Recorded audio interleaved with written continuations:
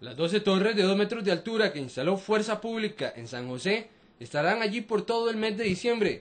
De 10 de la mañana a 10 de la noche, una pareja de policías vigilará mientras usted busca los regalos para su familia.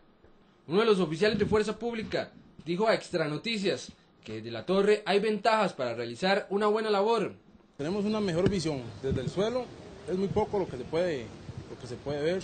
Desde aquí arriba este, tenemos la posibilidad de estar este, vigilando un sector muchísimo más amplio, como le acabo de decir, ¿verdad?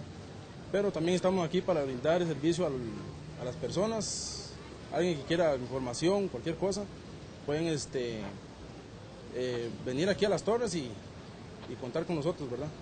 Pero ¿qué opina la ciudadanía al respecto? Me parece que es una buena medida, ¿verdad? Siempre y cuando este, estén atentos a lo que pase, ¿verdad? A mí me parece que, que pues, es una medida para, para visualizar eh, eh, eh, el panorama, pero para actuar yo creo que es muy difícil.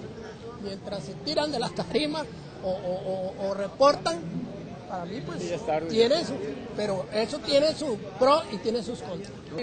No, a mí me parece muy bueno, siempre y cuando, como dice el compañero aquí, que se cumpla el objetivo. No simplemente estar encaramado y que le pasen agua y, estar viendo para todos lados, no. Es que si aquí a los 100 metros hay más guardias, estamos de acuerdo. Pero si solo esos están, ¿cuál, es la, idea? Nada más estar viendo. Cuando pase el mes de diciembre, las autoridades de seguridad evaluarán si permanece este sistema de trabajo.